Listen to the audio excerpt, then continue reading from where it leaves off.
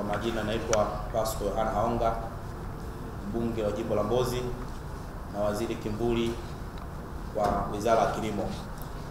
Eh, ndugu wanahabari, eh, leo tumekuja kuzungumza nanyi, lakini pia kuzungumza na Tanzania kupitia nanyi kuhusu masuala mbalimbali yanayohusu zao la korosho. Ndugu wanahabari, ikumbuke kwamba mwaka jana, mwaka 2018 mwezi Novemba, serikali ilitangaza kununua korosho yote nchini kupitia Benki ya Maendeleo ya Kilimo KDB ikishirikiana na Bodi ya Mazao Mchanganyiko pamoja na Jeshi la Wananchi walipewa jukumu la kusafirisha korosho. Ndugu wanahabari, wote tunakumbuka kwamba serikali iliahidi kwamba ingeweza kununua korosho yote nchini ambayo ni zaidi ya tani laki mbili na elfu sabini na tano na ikisema ikasema kwamba itanunua korosho yote, lakini pia itaibagua hiyo korosho yote ambayo ingeweza kuinunua kutoka kwa wakulima wa korosho katika maeneo yote ambayo yanalima zao la korosho. Lakini kwa bahati mbaya sana, juzi waziri wa kilimo ametoa taarifa kwamba serikali imeshindwa, haitaweza kununua korosho yote kutoka kwa wakulima kwa sababu kwanza viwanda havitoshi vya kubangua korosho, kwa maana kwamba haiwezi haitabangua korosho yote, nitanunua lakini haitabangua korosho yote. Kwa hiyo umesema kwamba serikali imesema kwamba itaweza kubangua korosho tani elfu arobaini tu kati ya tani laki mbili na elfu sabini na tano. Kwa hiyo umesema kwamba tabangua tani elfu arobaini tu kwa msimu huu. Sasa mwanzoni tuliambiwa kwamba wangeweza kununua korosho yote tani laki mbili na elfu sabini na tano na wataibangua yote, lakini sasa tunaambiwa kwamba hawataweza kuibangua korosho yote, watabangua elfu tano elfu arobaini tu. Lakini wanahabari, kumbuke kwamba serikali imesaini mkataba juzi juzi wa kubangua korosho tani 7500 ndio mkataba ambao serikali imesha saini hadi sasa, kwa maana tani 7500. Kwa hizo tani 1040 hatujui kwamba ni lini serikali itafikia tani 1040. Lakini kwa haraka haraka sana, ndugu wanahabari, naomba niseme tu kwamba nizungumzie kwa ufupi sana kuhusu mwenendo wa ununuzi wa korosho na madhara ambayo yameendelea kujitokeza. Eh, jambo la kwanza, mwenendo wa kununua zao la korosho umekuwa mbaya na wa kusuasua, kwani unabagua baadhi ya wakulima na wafanyabiashara wakati kwa kuwaambia waonyeshe mashamba ndipo walipe fedha zao. Leo serikali, mfanyabiashara anapoenda kuuza korosho au mkulima, wale wafanyabiashara wakati inawaambia kwamba onyesha shamba lako. Sasa tunafahamu biashara yote ile, iwe ya mahindi, iwe ya mpunga, iwe ya nyanya, iwe ya pamba, biashara yote ile inakuwa nafanya biashara wale wakati.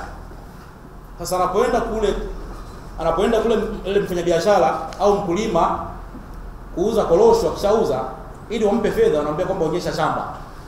Tunafahamu kwamba mkulima wa mahindi, mfanyabiashara wa mahindi hana shamba la mahindi, lakini anafanya biashara ya mahindi na tufahamu kwamba pia anayeuza kwa mfano nguo dukani hana kiwanda, lakini anauza biashara ya nguo kwa sababu anajumua anakuja kuiuza. Pia hivyo hivyo anayeuza mchele tunafahamu kwamba huyu hana mashamba ya mpunga. Kwa hiyo sio sahihi kuwaambia wafanyabiashara kwamba au wale wakulima kwamba onyesheni mashamba ndipo tuwalipe fedha. Hili jambo limeonyesha kwamba sasa wale ambao walinunua korosho kutoka kwa wakulima hao korosho yao hadi sasa haijulikani, lakini serikali kwa mwelekeo uliopo ni kwamba ile korosho serikali itataifisha. Au itapora ile korosho ya wale wafanyabiashara wakati, na duniani kokote kule wafanyabiashara wakati wapo, lakini pia hata wale wakulima ambao wamenunua ile korosho ambao walipeleka ile korosho bado hawajalipwa fedha zao, wamecheleweshwa malipo. Toka mwaka jana. Wakulima wengine wamepima korosho yao mwezi wa kumi na moja wengine wa kumi na mbili wameendelea kupima korosho, wamecheleweshewa malipo yao. Kwa hiyo ndugu zangu, mjue kwamba hii unapomcheleweshea malipo huyo mtu unamwathiri kwa kiwango kikubwa sana mkulima, na tujue kabisa kwamba huyu mkulima anasomesha watoto wanafunzi. Huyu mkulima anatakiwa atibiwe. Kama hajalipwa hadi sasa, maana yake tafsiri yake ni kwamba huyu mkulima, mambo yote haya ya kutibiwa, mambo ya kusomesha watoto, yote hayo inakuwa ni shida kubwa sana na naomba niseme tu kwamba kwa mfano, nataka nitoe mfano mdogo tu. Eh, wazazi wameshindwa kupeleka watoto shule kwa sababu ya kuchelewesha malipo ya korosho. Mathalan, wilaya Tandahimba, Newala na Masasi kwa mkoa wa Mtwara Kwa upande wa mkoa wa Lindi, wilaya za Nachingwea, Ruangwa na Lindi vijijini, wakati shule zinafunguliwa Januari 2019 shule kwa mfano moja inaitwa Namikupa wilaya ya Tandahimba, kati ya wanafunzi 219 waliotakiwa kuripoti kidato cha kwanza aliripoti mwanafunzi mmoja tu. Kati ya 219 aliripoti mwanafunzi mmoja tu, kwa sababu wazazi wameshindwa ku kuwanunulia watoto vifaa mbalimbali na wengine wameshindwa kulipa ada. Ziko shule za private, kwa sababu serikali inaweza kusingizia kwamba shule za serikali ni elimu bila malipo, lakini ziko shule za private pia. Hata shule hizi za serikali bado mzazi atahitaji kununua uniform, atahitaji kununua madaftari na vitu vingine. Sasa mwanafunzi mmoja kati ya 219 alihudhuria kwenye shule ya Namikupa. Lakini pia eh, kuna shule nyingine ambayo wanafunzi watano tu kati ya 137 walihudhuria katika shule ya Nakuta. Shule moja inaitwa Nakuta, wanafunzi watano tu walihudhuria kati ya 137. Tandahimba sekondari wanafunzi wanne walihudhuria, wanne kati ya 160, wanafunzi wanne tu kati ya 160. Kwa hiyo ndugu wanahabari, muone swala hili ambavyo limewaathiri wazazi, wameshindwa kupeleka watoto shule. Kwa hali ni mbaya kuliko kawaida. Lakini pia wakulima wapo hatiani kuuziwa nyumba na mali zao nyingine baada ya kushindwa kurejesha mikopo waliokopa katika mabenki mbalimbali pamoja na taasisi nyingine za fedha. Wakulima wanapolima wote tunafahamu, mimi natoka kwenye kilimo, tunakulima kahawa na mahindi, na wengine wanatoka kwenye korosho, ndugu yangu hapa na wengine. Siku zote mkulima ana lazima fedha kwenye taasisi za fedha au kwa watu wengine ambao wanaweza kunani, wanaweza kumlazima fedha ili aweze kufanya kilimo. Wakulima walikopa fedha mabenki, wanunue sal, salfa kwa ajili ya kuweka kwenye korosho, walikopa fedha kwenye mabenki waweze kulimia, walikopa fedha kwenye taasisi mbalimbali waweze kununua hivyo uatilifu, lakini riba za mabenki zimeendelea kuongezeka, zimeendelea kukua, lakini mwisho wa siku, pamoja na kwamba riba zimeendelea kuongezeka na kukua, mwisho wa siku wananchi hawa wameshindwa kulipa hizo riba, na hati mwisho wa siku wataenda kuuziwa nyumba zao, wataenda kuuziwa mali zao kwa sababu ya kushindwa kulipa hizo fedha kwenye hizo za mabenki, ambayo imekuwa kubwa sana. Lakini jambo lingine, mchakato wa ununuzi wa zao la korosho umetawaliwa na rushwa kupindukia, na hii inahusisha vyombo mbalimbali, ikiwa ni pamoja na kamati za uhakiki zinazohusisha zinazohusisha maafisa kutoka halmashauri za wilaya, ofisi za madc, ofisi za maarasi na vyombo vya ulinzi na usalama. Hata juzi bungeni waziri wa kilimo amekiri hili kwamba watu wanne wameshakamatwa kwa ajili ya tuhuma za rushwa. Wanne wameshakamatwa wanaotumwa kwa ajili zile kamati ambazo zimetengenezwa kwa ajili ya uhakiki kwenye ngazi mbalimbali, kwenye ofisi za madc, ofisi za maharasi na ngazi nyinginezo. Unapoenda kule, mtu anapeleka korosho, anakwambia bwana, wewe una tani ngapi? Labda mimi na na kilo labda 200. Kilo 200, mbona shamba lako haliwezi kutoa kilo 200? Kwa mwisho wa siku, mbona bwana, sasa wewe toa chochote ili tukuandikize kilo 200 kwamba unazo, ndipo uweze kulipwa fedha zako. Kwa mwisho wa siku, wananchi wamekuwa wakati mwingine wanatoa rushwa na hao maafisa wamekuwa wakijihusisha na rushwa, na hili waziri wa kilimo mwenyewe amekiri bungeni, amesema nimeendelea kuchukua hatua, lakini bado rushwa ni kubwa na rushwa inanuka kule kusini kwenye mambo ya korosho. Hali sio nzuri, ndugu zangu, kwa kweli hili ni jambo ambalo kweli limesikitisha sana. Lakini jambo lingine, serikali itapoteza export levy ambayo kwa mwaka jana peke yake ilikuwa na karibu bilioni 200. Ndugu wanahabari, nadhani mnakumbuka vizuri, mwaka jana tulikuwa tunabishana bungeni pale bilioni 200 zile, wengi tumekaa bungeni tumezungumza sana, zile zilikuwa zinalipwa na wale wafanyabiashara waliokuwa wanakuja kununua korosho, wana walitoa wali, wali, wali zile fedha.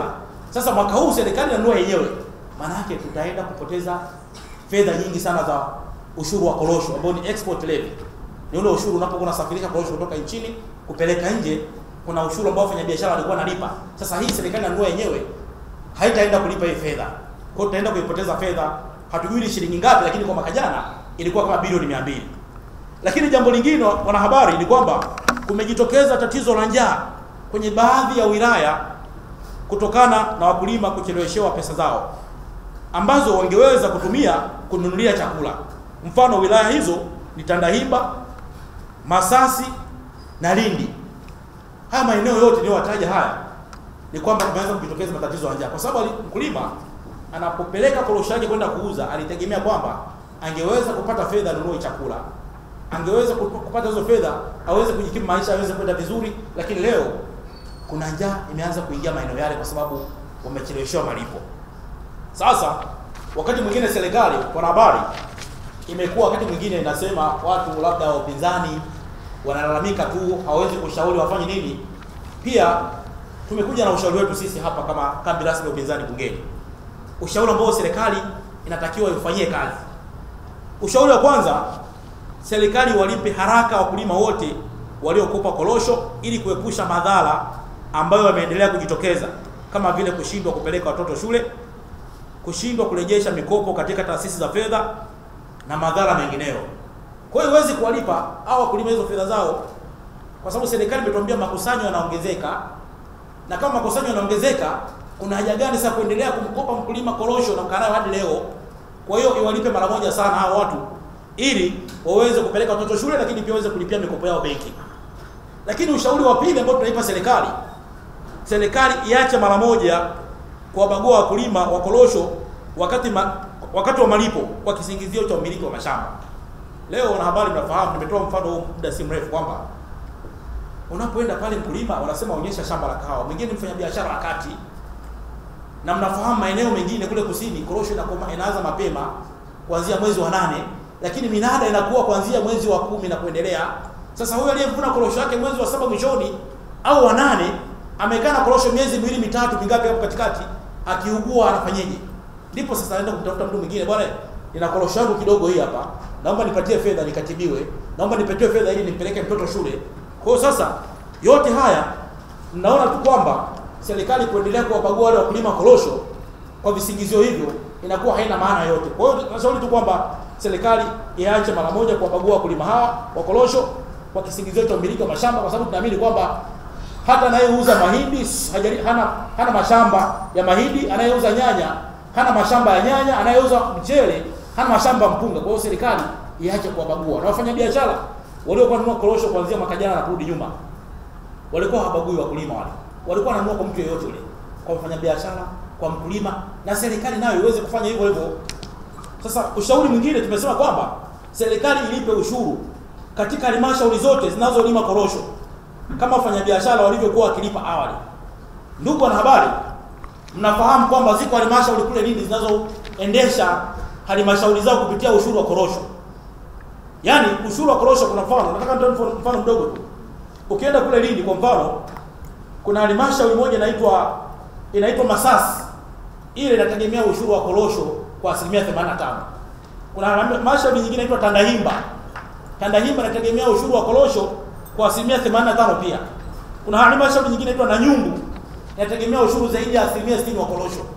Kwa serikali ilipoanza kununua korosho tangu mwaka jana Novemba hadi sasa haijawahi kulipa ushuru wa korosho kwenye zile za halmashauri.